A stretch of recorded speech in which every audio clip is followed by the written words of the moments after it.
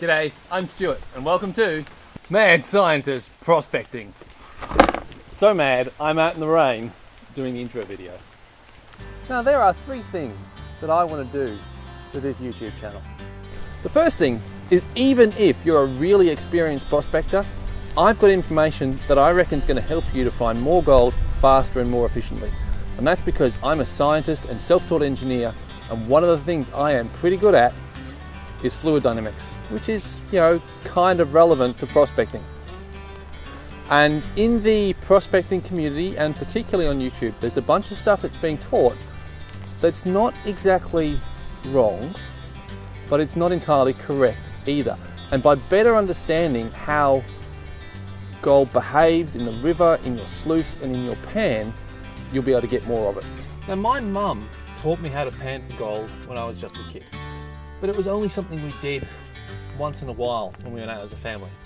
It's only since moving to Bendigo, which is at the centre of the Golden Triangle, Victoria, one of the richest, most productive gold fields in the world, that I've got serious about prospecting. And it was because I was mucking around with the kids in the gutter outside our house and I found a little picker. Right there.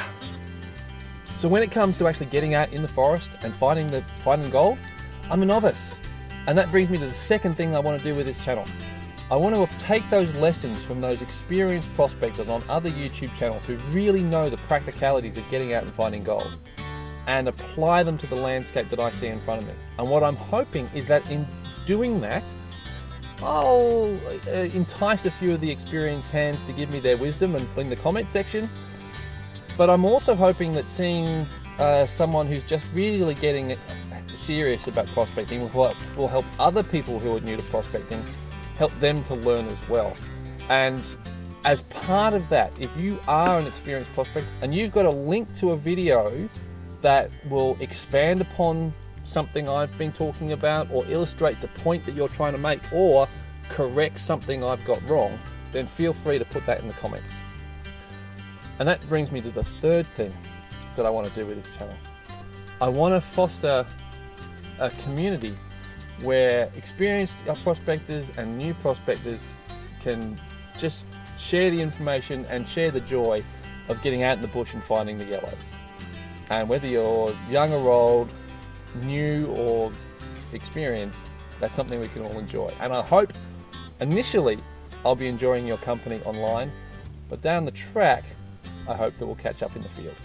So, if that sounds interesting to you, hit the subscribe button, hit the bell notification, because some of the science I've got to share with you, some of the fluid dynamics too, will help you even if you are you really know what you're doing with, with finding gold.